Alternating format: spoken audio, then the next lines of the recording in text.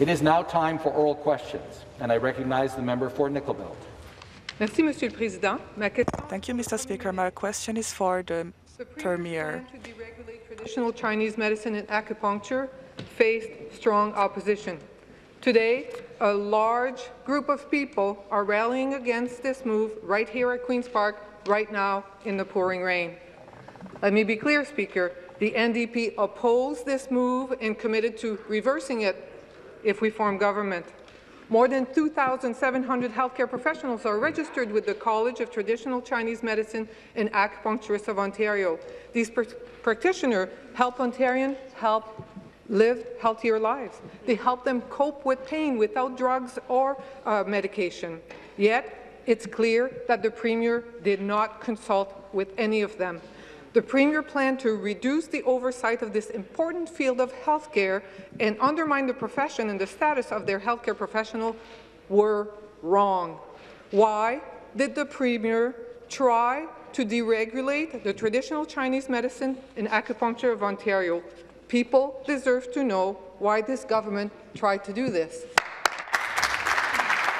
To respond, Government House Leader. Uh, uh, thank you very much, Mr. Speaker, and I appreciate the question from the member opposite. As you know, Mr. Speaker, the goal of, uh, uh, of this was to eliminate the barriers uh, that had existed uh, since the inception of the legislation, I believe back in 2000, since the inception of the college, excuse me, back in 2006. In fact, uh, Cantonese and Mandarin-speaking Canadians were virtually eliminated from being able to provide traditional Chinese medicine, something that they brought to this province. They were virtually barred from participating in it. So what we wanted to do, of course, was to eliminate those barriers. That is why, of course, last Thursday we sent the bill, direct, the bill directly to committee uh, prior to second reading. Uh, Schedule 5 will be removed from the bill, and the college will be ordered to provide uh, tests in both Mandarin and Cantonese so that we finally remove those barriers, Mr. Speaker. Thank you. The supplementary question. Speaker, this move was reckless. Heather Kenny, president of the Traditional Chinese Medicine Ontario, said, and I quote, there has been no consultation whatsoever on the part of the government that they were even considering this move. Dissolving the college and deregulating the traditional Chinese medicine would have hurt the patients of Ontario, the standards of care, and the reputation of all of those healthcare professionals. Make no move, uh, Speaker. Small practitioner would have suffered as the insurance company would not cover treatment from a non-regulated healthcare professional. There was always options to improve the college. Like every other healthcare colleges in Ontario, the government has many tools to help them, many tools at their disposal. So why did the Premier not consider Question? helping the college rather than threatening to close them and remove this important oversight from traditional Chinese medicine?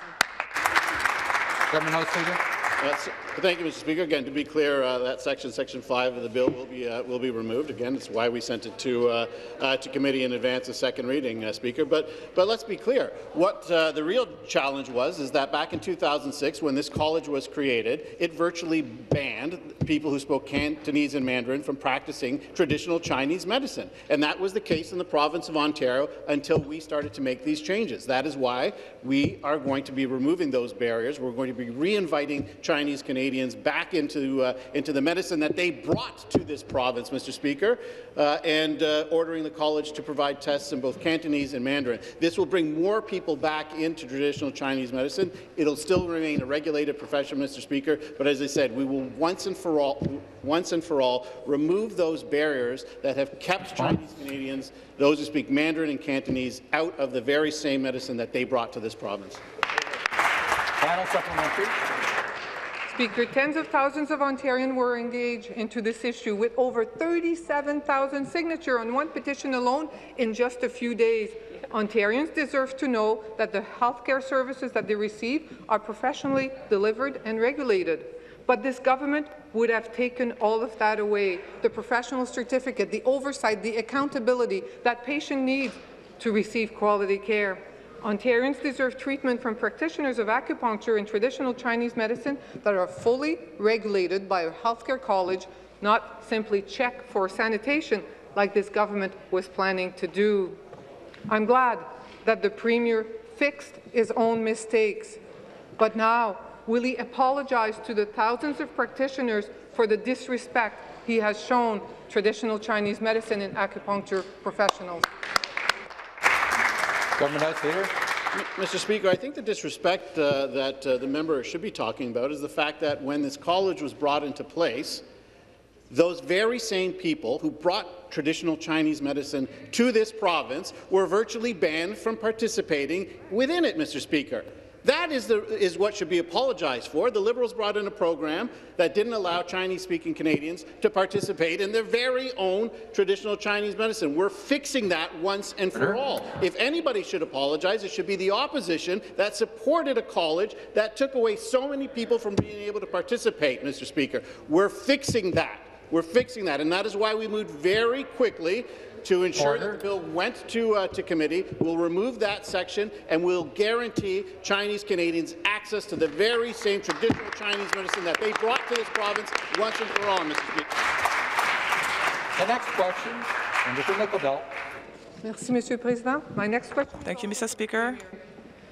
Ontarians all know that the home care system in this province is broken. It fails more people than it helps. Seniors and people living with disability want to live in their own home longer, supported, respected. People want to go home from the hospital, but far too often they cannot access the home care services they need.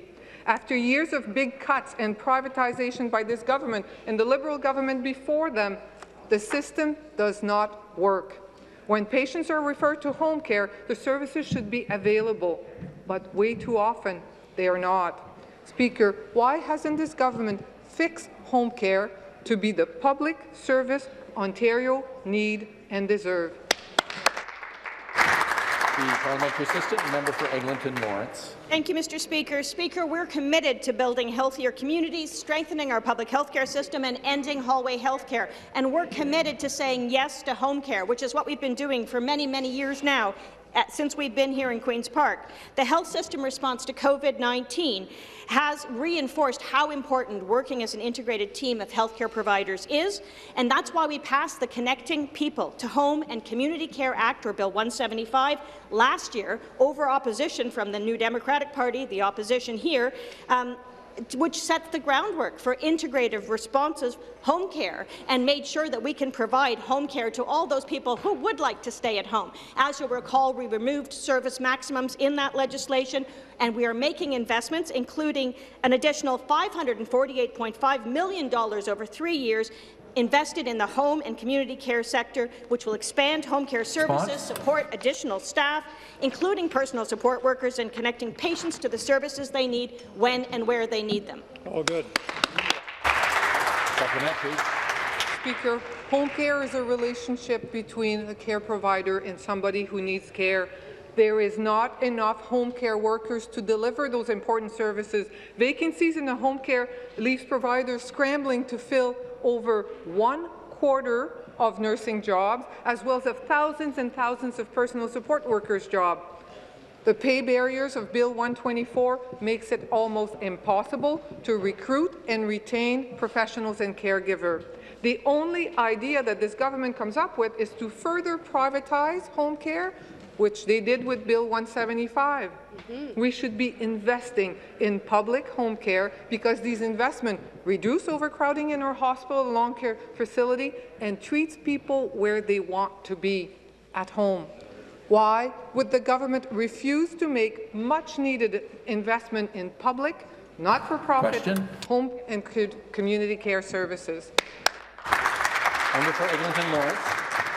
Thank you, Speaker. The Del Duca Wynne Liberals, supported by the opposition NDP all the time, have failed Ontarians when it comes to health care and certainly when it comes to home care. A report from 2015 from our Auditor General details the dire situation that the Liberals left in regard to home care, so much so that the Auditor General said that an entirely new delivery system was needed, and that is what our government did by passing the Connecting People to Home and Community Care Act, or Bill 175, last year Speaker, uh, during the pandemic, we were proceeding on this home and community care reformation, which is making great strides. The member opposite will know that we have embarked on the largest healthcare, health human resource initiative for recruiting, retaining, um, more healthcare providers, PSWs, RPNs, and nurses in huge numbers. We've already hired over 12,700 healthcare providers during the pandemic, and we will continue to hire more to make sure that people get the care they need, where and when they need it. Final supplementary. Speaker, in the north, where I live, home care services are even more difficult to find because of the vast geography and the long distances that home care workers must travel between clients. Most home care workers are not paid for travel time. They have to absorb and often subsidize from their own pay the increase in the price of gas. Speaker, we know how to fix home care. This is Ontario. We know how to provide good quality home and, quality and community care. We know how to raise the staffing level. We know how to close the accessibility gap. All we need is political will to get it done. Will the Premier support our motion today to make much-needed changes in investment in home and community care so that we commit to transform to a public, not-for-profit system that put care first? Member for Eglinton Lawrence. Thank you very much, Speaker. Our government is committed to our public health care system and to improving home care in that system, and that's why we've taken all the initiatives that I mentioned before. The investment of 548.5 million over three years in home and community care sector will expand home care services, support additional staff, including personal support workers, connect patients to the services they need. The funding would support an estimated 28,000 post-acute surgical patients and up to an estimated 21,000 patients with complex health conditions every year by providing 739,000 nursing visits, 157,000 nursing shift hours, 117,000 therapy visits, including physiotherapy, occupational therapy, and speech-language pathology, 2,118,000 hours of personal support services, and 263,000 other types of home care visits. These are all important Response? investments. We want to make sure that the home care is there for everyone who needs it, and we will deliver that to them. Good stuff. Next question. Member for Essex. Uh, thank you very much, Speaker. My question is to the Premier. Speaker, the Premier's hand-picked appointee to the Ottawa Police Services Board was fired last week after he helped occupy his own city. When Mr. Sueda was asked if he was there, he said, quote, I'm not sure what you're talking about. A day later, he admitted it, but said, quote, I did nothing wrong. The Premier still doesn't seem to know how Mr. Sueda, a longtime PC donor, made it on the board in the first place. He told the media last week, quote, I'll be able to get the answer on who recommended these, and to tell you the truth, I didn't look into every single appointment. Speaker, who recommended Mr. Sueda, and what qualifications did this guy have other than his long history as a PC donor? Solicitor General. So I think it's important to remind the member opposite just how the process works for police services boards, which of course are independent oversight of the individual police services boards. With the Ottawa Police Services Board, there are seven members, uh, three of which of course are provincial appointees. Uh, last week, those three provincial appointees made a determination after the City of Ottawa had said they were going in a new direction with their leadership, and they have uh, submitted their resignation. We've accepted it, and we will work to ensure that those three positions are quickly filled to make sure that the Ottawa Police Service had the proper oversight that they continue to need. Thank you. The supplementary. Uh, thank you, Speaker. Speaker, the Premier won't explain why in December he reappointed one member of the board for another three-year term. Late January, the Ottawa Police briefed the board on the convoy's plan to occupy the city, and Mr. Sueda skipped that briefing, instead making plans to actually attend the occupation, not once, but twice. Speaker, this kind of action undermines the Police Services Board. There were still protesters there this past weekend in Ottawa, but the civilian board to oversee the police uh, is down to just three members, with no provincial appointees. Speaker, will the Premier admit that he and his team didn't vet Mr. Sueda for the job, and will he also admit that by appointing his PC buddy, he has damaged the reputation of the Ottawa Police Services Board? The Solicitor General. Respectfully, Speaker, the member opposite is wrong. There is a very thorough process for people who apply to be provincial appointees in any number of Ontario boards and agencies, including police services. Order. boards. They have to apply, they go through an interview process, they have to go through a thorough police record check, all of which happens every single time we appoint a provincial member to a police services board, including in the City of Ottawa. That hasn't happened. As I said, the City of Ottawa made a determination that they were going in a new direction with their Police Services Board. We accepted those resignations when they came forward, and we will go through a, another complete and thorough process to make sure that we get appropriate people sitting on the Ottawa Police Services Board. The next question, the member for Perth Wellington. Thank you, Speaker. Speaker, my question is for the Minister of Government and Consumer Services. Ontario was faced with an immense problem at the begin beginning of the COVID-19 pandemic. Years of mismanagement and reckless spending in the wrong places by the Liberals left us exposed and vulnerable, particularly in our frontline sectors, who lacked the proper equipment to keep themselves and their, their colleagues and the people they serve safe. Speaker, Ontario has no shortage of procurement firepower, and Ontarians are continuing, are counting on our government to unleash it.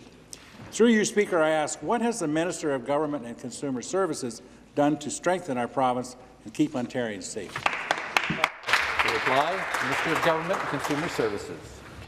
Thank you, Mr. Speaker, and thank you to the great member for Perth Wellington for the question. Uh, over the course of our pandemic, our ministry has procured millions upon millions of pieces of PPE, uh, Mr. Speaker.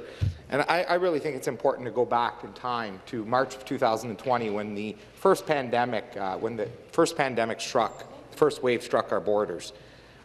Our premier had to go into our warehouse, Mr. Speaker, and he legitimately saw rotting PPE, expired PPE. He stood before this entire province, Mr. Speaker, and he said, Order. never again, never again will we be beholden to the, any other jurisdiction. This PPE that we had in our warehouse was not only expired, Mr. Speaker, but it was all purchased from foreign jurisdiction.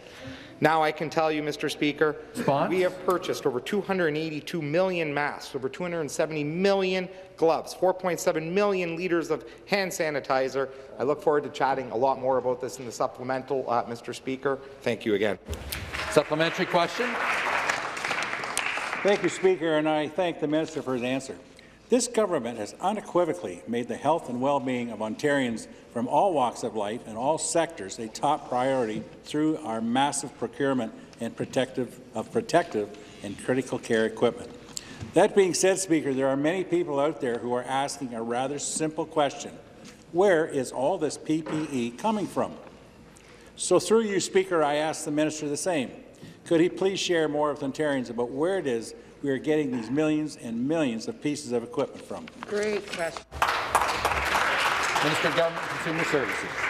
Thank you again to the member for the question, and thank you, Mr. Speaker, for the opportunity to respond. And simply put, Mr. Speaker, most of our PPE is now coming from Ontario. Yeah. Mr. Speaker, outstanding news, Mr. Speaker, of the 722 million pieces, to be exact, that we have purchased, indicated earlier, 282 million masks all coming from Ontario. Recently had a purchase just before Christmas, 79 million masks from Brockville's 3M plant, here, here. 79 million N95s, an additional 200 million cloth and other types of masks, all procured locally within the province of Ontario, Mr. Speaker and we stood up Supply Ontario and delivered over 9 million Ontario-made N95s and nearly 16 million cloth masks for children and staff in our schools just at the start of uh, this uh, most recent wave. Mr. Speaker, we did all of this to ensure that we were keeping our Ontario people safe, making sure that our government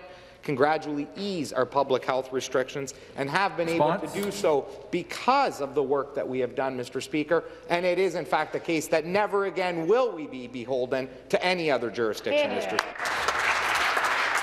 Next question, the member for York South Weston. Thank you, uh, Speaker. Uh, my question is uh, for the Premier. I'm a big supporter of the Toronto Community Benefits Network. Its formation had roots in my community and important agreements with Metrolinx were made, including meeting employment thresholds for underrepresented communities, including black, indigenous, and people of colour and women. The government recently announced removing equity hiring targets, local procurement, and community consultation from transit agreements. This, of course, was met with much outrage, and the government has appeared to change its mind and will respect those clauses. How can my community trust this government to keep its word on this agreement, and what steps will be taken to ensure these important initiatives are not only met, but tracked and measured? Responsible for the GTA. Thank you, Speaker. It's an important issue the member opposite raises, and so I want to be clear that the project agreements still require contractors to submit their own apprenticeship and work workforce development plans, maintaining a 10 percent threshold for a diverse workforce, Speaker. I am the proud son of immigrants uh, immigrants who faced incredible difficulties and discrimination, uh, sometimes at the hands of the members opposite, unfortunately, in this country, Speaker. Nobody takes diversity more seriously than this government. That is why we are looking beyond thresholds. Speaker, the Liberals, when it came to the Eglinton Crosstown, wanted a 10% threshold for a diverse workforce, but only achieved 5% when you look at the data. Claiming a threshold is simply not good enough. You have to look at the system and make sure our workforce looks like the diverse community in our province, and that's exactly what we're going to do. Supplementary. Thank you. I agree with the member that racism is real, absolutely. Back to my question to the Premier. Public dollars channelled through Metrolinx to build transit quite rightly involve community benefit agreements. Even under the original community benefit agreement, I have concerned the initiatives were not being met. The equity hiring goal of 10% was sitting at less than half that target. In my community of York South-Weston, the Mount Dennis Community Eco Neighbourhood Initiative recently wrote a letter stating their concerns that included, and I quote, there has been no public engagement or information shared about Metrolinx's plan for community benefit agreement as part of its Eglinton Crosstown West Extension project. The community is losing faith in this government and needs to know exactly how this important initiatives are met and measured. Will the government give Question? us more than words this morning? The Associate Minister of Transportation. Speaker, more than words. Let's talk about more than words, because that's a really ironic question coming from the opposition this morning. More than words means not saying no to creating more job opportunities for our workers, not saying no to recognizing the diverse talent of Ontario speak. It's the NDP and the Liberals who said no to $11 billion in the construction of the Ontario line, who said no to every single measure we have taken to build transit, to build a workforce, create 5,000 jobs during the construction of the Ontario line alone, and contribute $11 billion back to local economic growth, Speaker. When will the NDP show more than words and vote in favour of building transit and diversity in this entire province. Stop the clock.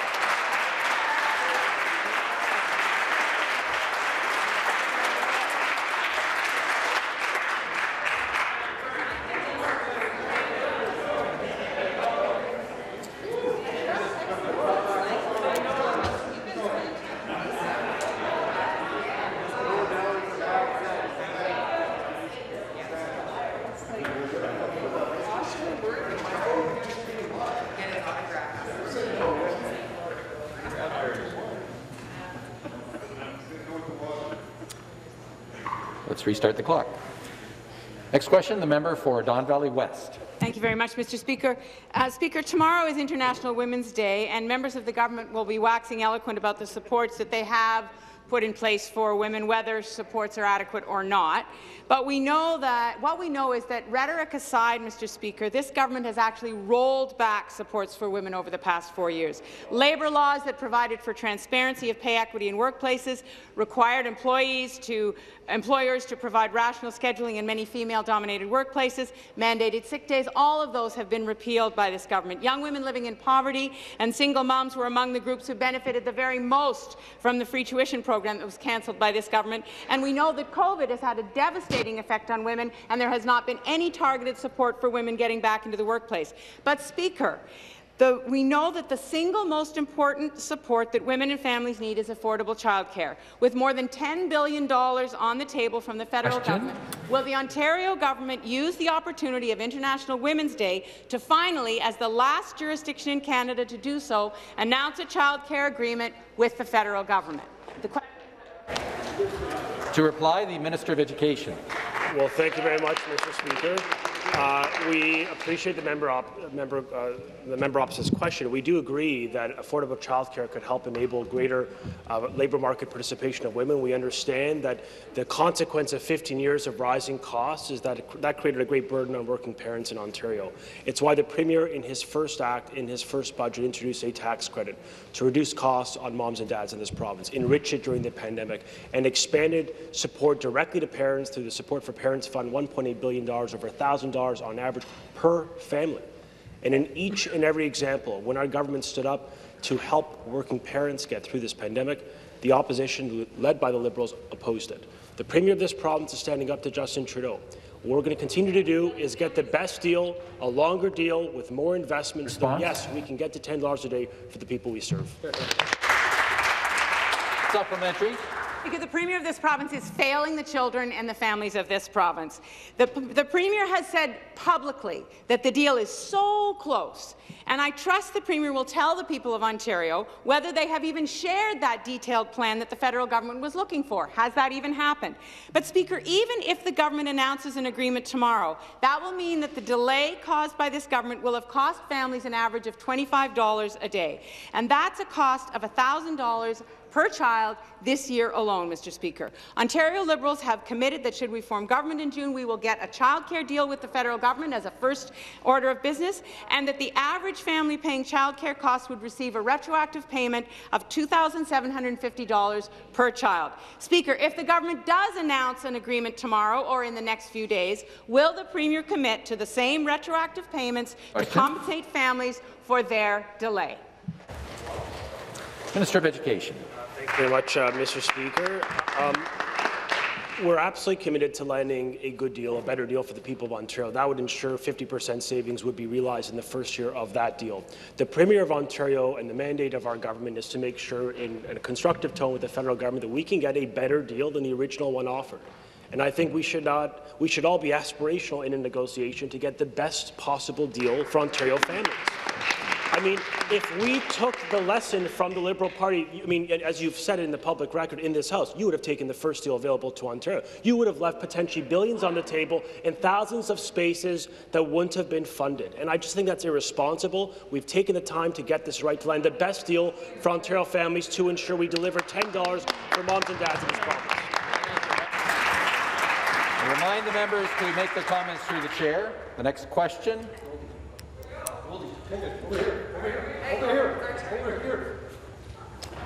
The member for Carleton. Apologies. Thank you, Mr. Speaker. This question is for the President of the Treasury Board. My constituents know supports like the Ontario Small Business Support Grant and the Support for Learners program have been essential in our fight against COVID-19. However, they also know these programs come at a cost to the province. Members of my riding would like to know more about Ontario's public accounts and how the government's response to COVID-19 has impacted the province's finances. Can the President of the Treasury Board please tell the House about this government's financial reporting commitments during the pandemic? The President of the Treasury Board.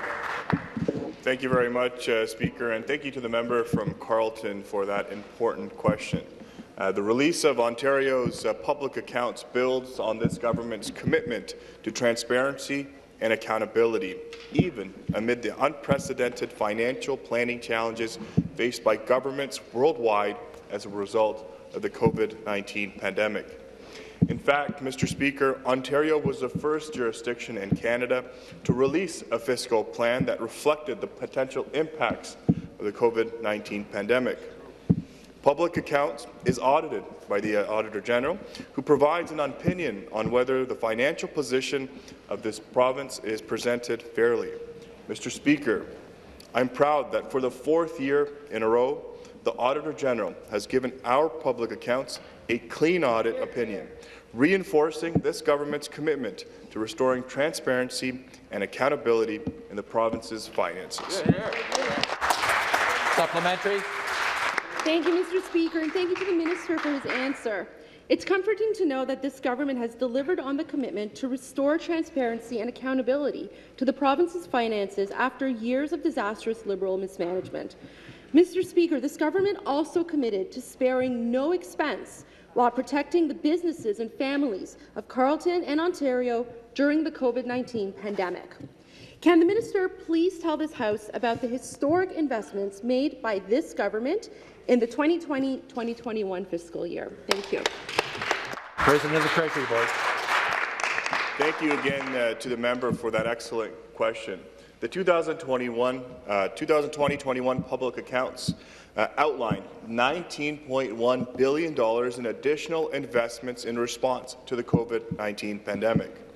These investments created real and measurable results for the people of Ontario, including over $3 billion in urgent and unprecedented support to over 110,000 small businesses, over $3 billion in provincial investments to support 444 municipalities, 110 transit systems across the province. Over $1.6 billion in investments for the 2020-21 school year to support the safe reopening of over 4,800 schools. $1.5 billion Response? in investments to support Ontario's 627 long-term care homes. Mr. Speaker, the health and safety of Ontarians is our number one priority, and we will continue to deliver on that commitment. Question, the member for Brampton East. Thank you, Speaker. My question is to the Premier. Brampton is facing a healthcare crisis, and it's because our healthcare system was underfunded and neglected under 15 years of the Liberals. But after four years under the Conservative government, instead of things getting better, they're getting worse.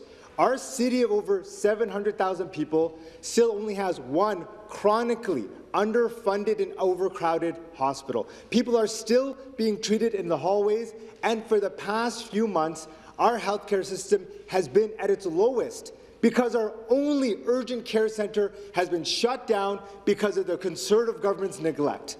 My question to the Premier is this. Will he admit that he chose to not act? He chose to neglect Brampton's healthcare crisis. He had four years to end our healthcare crisis. He did nothing, and he failed Brampton. Parliamentary assistant, member Lawrence.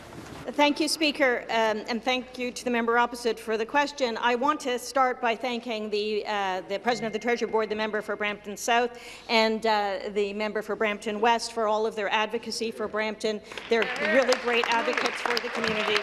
And of course, our government is the government that is making investments in Brampton healthcare after 15 years of the Liberals propped up by the opposition, making no investments in better health care in Brampton and ignoring them, frankly. It is this government that is saying yes to a new hospital that will provide over 250 new beds and include a 24-7 emergency department.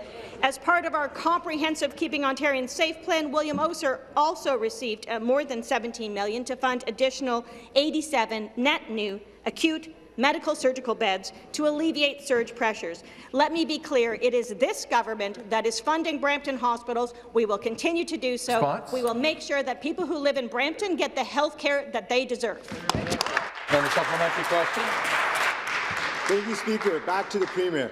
The Conservative government can say whatever they want, but this is the reality. The Conservative government had four years to end our healthcare crisis. And when you talk to people in Brampton, they'll tell you that things are getting worse, they're not getting better. People are genuinely afraid to go to our city's only hospital because they don't want to be treated in the hallway or face hours of wait. So many people have had their medical procedures cancelled or delayed, and we have seen across the board, we have seen People are struggling because our only urgent care centre has been shut down for months. So will the Premier admit, will he finally admit that he failed to end Brampton's healthcare crisis and he failed Brampton? Shame. Member for Eglinton Lawrence. Thank you, Mr. Speaker. This government has made unprecedented investments in health care and support for the health of all Ontarians through the pandemic, including $16 billion in COVID-19 investments, $5 billion specifically in hospitals. That includes $1.8 billion uh, we've dedicated to surgical backlogs. Of that, 300 million and another 200 million in the in last fall uh, to clear the surgical backlogs. We're working very hard to do that with Ontario Health, and we're making great strides in that regard with many people getting those things scheduled right now. The opposition just opposes, but we are making tons of investments. I can list some of them for you, including in diagnostic imaging recovery, providing 86.1 million in funding supports for hospitals to extend OR hours into evenings and weekends and catch up on surgeries, providing $69.9 million for MRI and CT imaging, adding 107,000 additional MRI MRI hours and 167,000 additional CT hours to the system, on top of already 500, over 500,000 hours and 550,000. Thank you. Thank you. The next question, the member for Cambridge. Mr. Speaker, my question is for the Premier. In 2020, the Toronto Star company Torstar, which owns about 70 papers, was sold for $52 million, and it seemed like they were on their way to going out of business. So, in stepped this PC government to grant the Toronto Star, our province's first online gambling license, for a market that could be worth more than 500 million in revenue, and also a market that is going to decrease government revenues in the hundreds of millions. The owners of the Toronto Star have said this venture will be used to fund their struggling journalism business, which focuses on pushing left-wing, high-tax, big government journalism they disguise by calling social justice and progressive. Does this government think it is ethical and healthy for journalism integrity and a free press that the largest left-wing newspaper distributor in the country fund its operations through the revenue generated by online gambling based on a license provided by one of the very governments they're supposed to write about? Thank you. The parliamentary assistant, member for Brantford Brant. Thank you, Speaker. I really appreciate the question on iGaming from the member from Cambridge. And indeed, the province of Ontario is moving forward on opening up an iGaming framework, and I would like to thank my predecessor, now the Associate Minister of Transportation, we are very excited to be bringing in somewhere between a billion to $2 billion into the gross domestic product of the province of Ontario without job losses. And so we are very, very excited about this, looking forward to be able to say more about it in the follow-up. Thank you. Speaker, the online gambling industry relies heavily for profits on those with addictions or those who can least afford to gamble, poor and low-income Ontarians. The kind of people the Toronto Star pretends in their writing to stand up for, but then publishes a front page with social media messages wishing unvaccinated Canadians dead, or the kind of writing that seeks to destroy people's reputations by labeling them with woke leftist labels. Speaker, we know that last year the member for Chatham-Kent-Leamington gave this government an A-minus grade, calling their performance excellent. I wonder, what grade does this government give itself in the rollout of an online gambling market in Ontario? With this government issuing the first such license to operate an online casino to the Toronto Star, an A+, plus, a B, a C, a passing grade? Let us know. Member for Brantford, Brant. No, thank you, Speaker. And again, I can't say enough good things about the plans that we have going forward to have a responsible iGaming framework in the province of Ontario. And indeed, for land-based casinos, we've had the best responsible gaming platform in, in, in, the world for many, many years. And it's been so gratifying to see the work being done with the Responsible Gaming Council so that we see equal and even better. So right now, there's at least a billion dollars of grey market, black market gaming that happens in the province of Ontario with absolutely zero responsible gaming being put in place.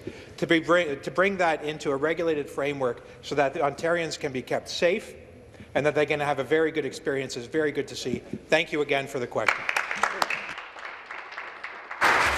Next question, the member for Oakville North Burlington. Thank you, thank you, Speaker. Speaker, my question today is for the Associate Minister of Mental Health and Addictions.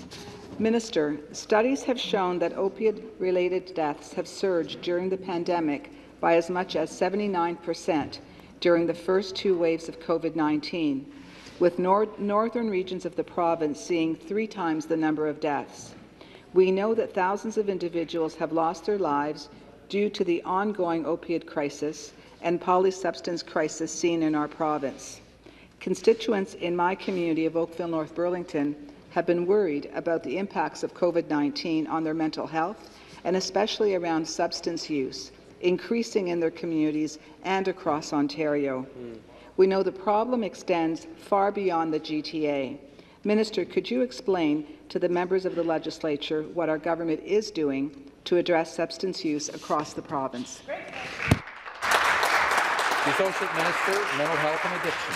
Thank you, Mr. Speaker, and thank you to the member from Oakville, North Burlington, for that excellent question. Mr. Speaker, addictions and substance use is something I have a very deep and personal connection to, having worked in the sector for a decade prior to coming becoming its minister. After years of previous governments saying no to expanding addictions treatment in the province, our government has said yes by recently announcing an historic $90 million investment through the province's new Addictions Recovery Fund that is immediately expanding addiction treatment services across the province and adding almost 400 new addictions treatment beds in the system. This is truly an historic investment, Mr. Speaker, in addiction treatment in the province of Ontario and it will help thousands of Ontarians access the supports they need. After so many years of previous governments neglecting our mental health and addiction system, our government is taking real action and ensuring all Ontarians are fully supported. Thank you. A supplementary question. Speak- Speaker, I'd like to thank the minister for his response.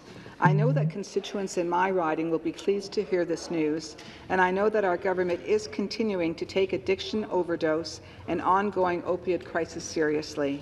It is clear that our government is taking real and meaningful action to ensure the people of this province have access to the addiction supports they expect and deserve. Minister, we know that more still needs to be done to protect and support Ontarians living with addiction challenges, and as the minister has mentioned in this House before, we know that the mental health impacts of the pandemic will exist beyond COVID-19 itself. Minister, what other actions is the government taking to ensure Ontarians have access to high-quality addiction care when and where they need it? Associate Minister. Thank you, Mr. Speaker. The new Addictions Recovery Fund is truly the first of its kind in Ontario. It's the first time a government in this province has taken the important step to build a continuum of care in communities across the province, including northern, Indigenous and rural communities. On Friday, I was in Sudbury to announce $2.5 million for 15 new treatment beds that will help hundreds of Ontarians in accessing the support they need. This is just one. This is just one of many investments, Mr. Speaker, we're making across the province to address the surge in demand for addiction services. In addition to adding almost 400 new beds, the new Addiction Recovery Fund is adding six new youth wellness hubs, supporting new Indigenous-led land-based healing services, and funding three new police-partnered mobile crisis teams. Mr. Speaker, our government is doing whatever it takes to finally build a connected mental health and addiction system that meets the unique needs of all Ontarians, no matter where they are in the province. Thank you. Next question, the member for Sudbury. Thank you very much, Speaker. My question is for the Premier. Speaker, Ontario is already dealing with the high cost of living. We have higher food costs, higher rent, higher hydro rates, and more. My constituents in Sudbury are dealing with another rising cost, gas prices. Peter says that high gas prices are eroding his pension. Leanne and Nancy wrote, wrote to my office about having to choose between getting gas or getting groceries. Stacy can barely afford to get to work every day, and Christina is a single mom who's had to take on a second job just to make ends meet. Order. The North has always seen higher gas prices than South, higher gas prices than Southern Ontario, but recently the difference has been astronomical. There is always a 10 cent difference between Sudbury and gas stations that are only 45 minutes away, and that number jumps to 20 cents or more the further south that you drive. That's gas gouging, Speaker. For years, the Conservative government said they'd bring gas prices down, and the previous Liberal Minister of Energy also promised to fix this issue, but nothing was ever done.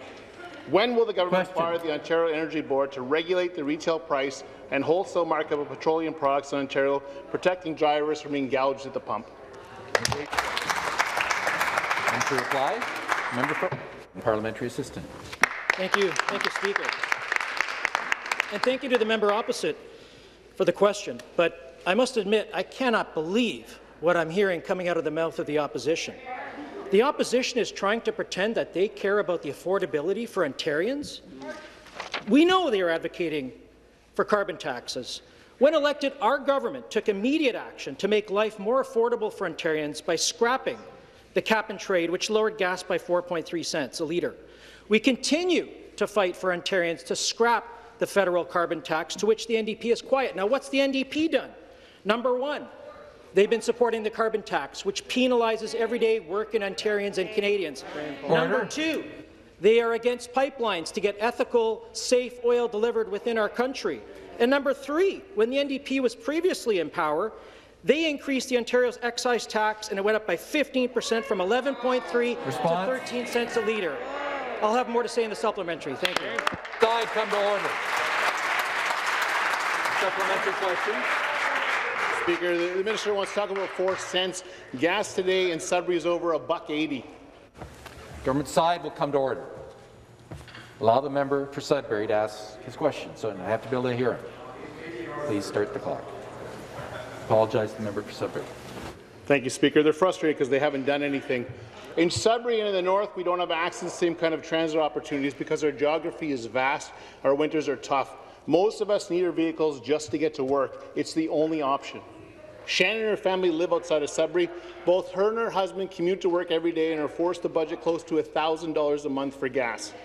If most of your paycheck goes towards gas, how do you survive? Life has become unaffordable. Gas prices shouldn't be another burden to Ontarians. It shouldn't keep people like Shannon from their job. It shouldn't keep people like William from going to camp to visit their family. It shouldn't be a hardship for Mitch to drive his daughter to daycare in the morning. Speaker, gas gouging can end by implementing predictable and consistent retail pricing of petroleum products Question. so that we don't see the steep fluctuations that are currently happening. When will the Conservatives implement this plan? Member. Thank you to the member opposite. But again, I, I, I want to look at the NDP's track record and where they stand. The member from Ottawa Centre is in favor of a tax increase in carbon tax of 35 cents a litre. 35 cents a litre.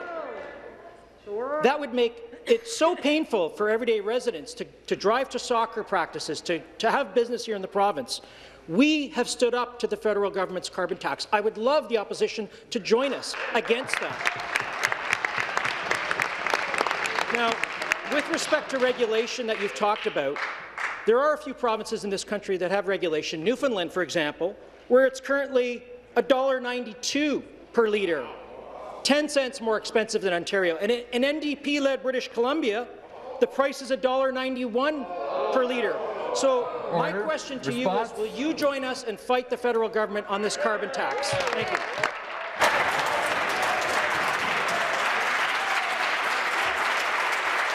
Clock.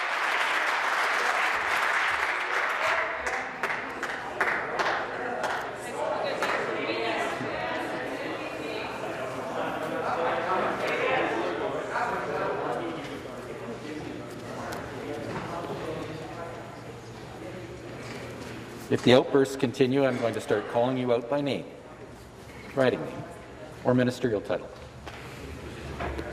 Start the clock. Member for Ottawa South. Thank you very much, Speaker. My question is for the Premier. We, learned this morning the government has moved to strike Schedule 5 from Bill 88, and that was good news for the people rallying outside, but they're nervous. Why? Because they don't trust the Premier. They know the college protects patients. They know that the College of Traditional Chinese Medicine elevated it from a practice to a profession.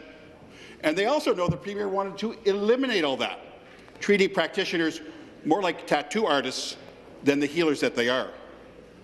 The community knows that they can't trust this government because they were willing to make this change without any consultation. Zero. And they might very well do that again. So, Speaker, through you, to the Premier, who whispered in the Premier's ear and told him this was a good idea? To respond, the Government House Leader. Know what, uh, Mr. Speaker, you know what the uh, people out on the lawn know? They know that for over 12 years, because of Liberal legislation that set up this college, Chinese-speaking Canadians were forbidden virtually from participating in the very medicine that they brought to this, to this province, Mr. Speaker. So what we're doing is fixing the Liberal mistake, Speaker, so that more people can participate in traditional Chinese medicine, Mr. Speaker. So we're going to fix the college to ensure that that, that happens. We are, as the member uh, acknowledged in his question, we are eliminating Schedule 5. That is why we took the step of moving it to committee before second reading, Speaker. But ultimately, we are going to fix the problems that the Liberals set in. I don't know why they did it, Mr. Speaker. Frankly, I don't know who would bring forward legislation back in 2006 that took so many people out of uh, out of the traditional medicine that they were practicing. Thankfully, Response? the member for Markham-Unionville, the member for Richmond Hill, uh, and the member for Don Valley North were, of course, on top of this, working with us, and ultimately we're going to have the best solution in place for more people. Supplementary question. Well, thank you, Speaker, and, and uh, you know, th- thanks for the House Leader to bringing it up. You know, the Premier said making this change was all about language and people as a barrier to practice. But the Premier and the Cabinet members know that this change could have easily been done in regulation in five minutes at the Cabinet table. And he could have done it in five minutes, solved the problem that he said he was trying to solve. Instead, without any consultation or any forewarning, the Premier was going to eliminate the college. It took the community standing up and telling the Premier that he was wrong for the government to backtrack. That's the only reason that that happened. Otherwise, we'd still be going ahead with Schedule 5. The community is right not to trust the Premier or this government. The question really is, if making this change wasn't going to benefit patients or the profession of traditional Chinese medicine, question. just exactly who was it going to benefit? So again, Speaker, through you, who whispered in the Premier's ear that, ear that this was a good idea? And will the government commit today to strengthening the College of Traditional Chinese Medicine and never threatening it again? Here. Government House Leader. Speaker, so let's let's look at the question that the member just asked. He said that it could take five minutes at the cabinet table to make that change. So from 2006, 7, 8, 9, 10, 11, 12, 13, 14, 15, 16, 17, and 18, the Liberals could not find five minutes to allow Chinese Canadians to practice their traditional Chinese medicine in the province of Ontario. It took a Conservative government to fix the mistake that they made. Stop the clock.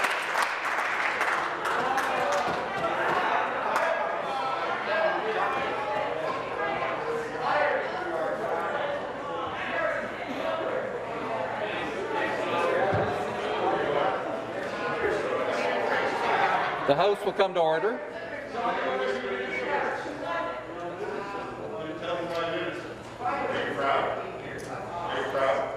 The House will come to order. I had to cut off the government House Leader because I couldn't hear what he was saying.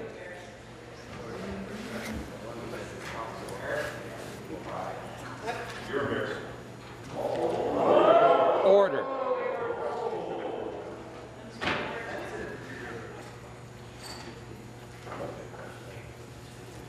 Start the clock. The next question, the member for Toronto St. Paul's. Thank you, Speaker. My question is for the Premier. The last two years have been absolutely devastating for small businesses across Ontario and also in my community of St. Paul's. This last lockdown was the breaking point for many. That was the case for Karina, a wedding planner in our community who had four winter weddings cancelled.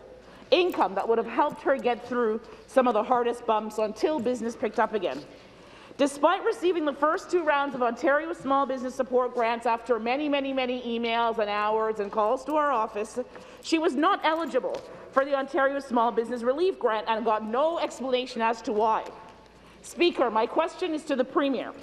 After two years of these programs being flagged with problems that left small business to shutter, how is it that this government still hasn't gotten this right to support Ontario entrepreneurs like Karina? Why is there no appeals process to support small business owners who need help if their grants applications have been denied? For a small mistake. The Associate Minister of Small Business and Red Tape Reduction. Thank you, Speaker. I do want to thank the member from Toronto St. Paul's for her question. Speaker, it was this Premier and this government that recognised that small businesses impacted by public health measures required immediate support so they could continue serving their communities and employing people across our province. It was our goal to get money to businesses quickly. So through the new COVID-19 Small Business Relief Grant, we're providing $10,000 for eligible businesses. Speaker, this builds on the nearly $3 billion that we provided last year through the Ontario Small Business Support Grant to over 110,000 businesses across the province. Speaker, I'd like to give you our updated numbers. From March 4th, we have currently given out over 9,800 applicants, a total amounting over $98 million, with another 8,500 applicants that are currently in progress. Thank you, Speaker. Supplementary question. Speaker. And back to the Premier. Karina's situation is not a solo situation. Uh, she's joined by many hundreds of businesses in Little Jamaica. She's joined by many of our local BIAs and other businesses that cannot access funding from this government.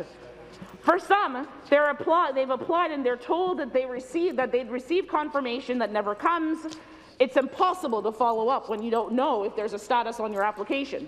Others have been waiting well over a month, and when calling to inquire, they're simply told to keep waiting. And Speaker, this is in a climate where this government, the Conservative government, gave out over $200 million to businesses that were, that were ineligible. Some weren't even in Ontario. The Ontario Small Business Re Relief Grant Program is closing this Friday, when evidently it hasn't worked for the people it was supposed to work for. By no fault of their own, of course, all systems. My question is to the Premier.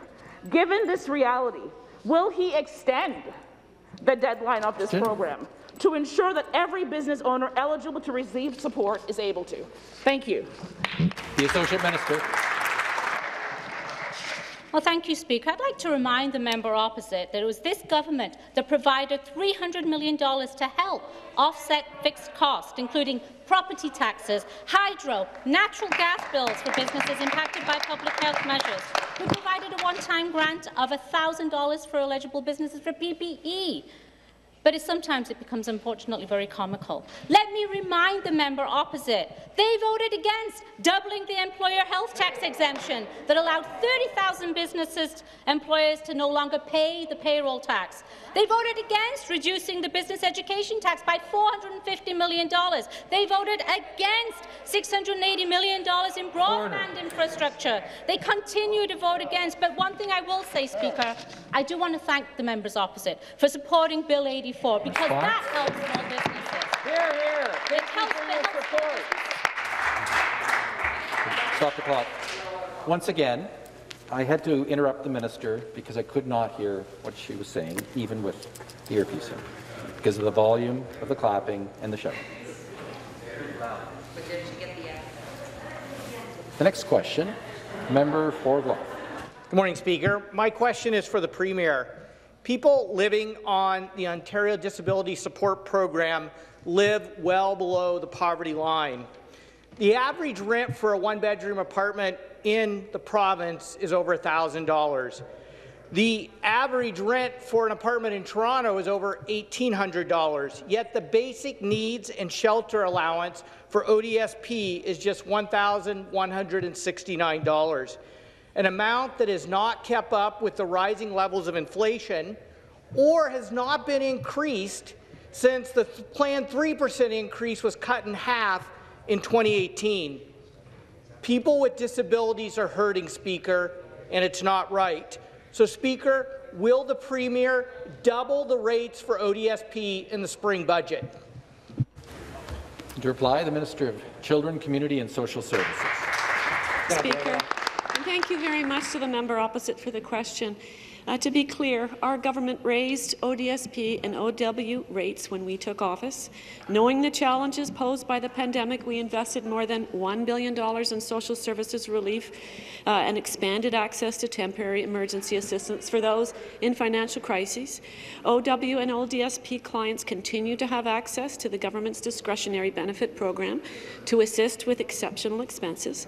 These investments back up our transformation of social assistance to build a more responsive, uh, person-centred, effective and efficient system that will get people back to work and help the province recover from the COVID-19 crisis. Supplementary. Speaker, let's be clear.